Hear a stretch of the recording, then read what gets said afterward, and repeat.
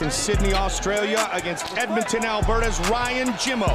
Tonight's Fight Clock brought to you by Victory Motorcycles. Right one, and and it's over just like that. Wow! That might be a UFC record. That is what you call a debut. Wow! How good was that? Man, that is about as good as. That was just absolutely spectacular. One of the fastest in UFC history.